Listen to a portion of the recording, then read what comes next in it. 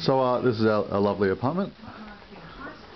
We're drying a few things, but uh, there's Max, and Max is sitting on the uh, the couch, which I'm su- I assume one of us was supposed to sleep on.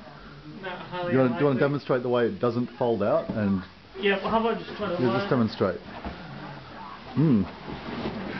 Okay. That that was uh, nicely enacted. You got the idea, yeah? Yeah, yeah.